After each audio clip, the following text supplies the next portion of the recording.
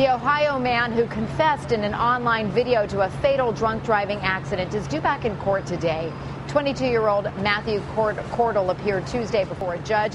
However, the judge abruptly postponed that proceeding, saying normal court procedures were not being uh, followed. His attorney said Cordle will plead not guilty at his arraignment, but will eventually change that plea to guilty.